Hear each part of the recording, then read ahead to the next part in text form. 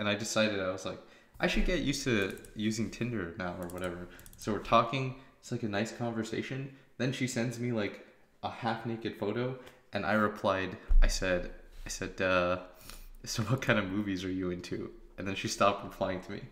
So that's uh, that's that's like that's like the weird part of the world now. I mean, fuck, that was that, it wasn't the thing to say. Trust me.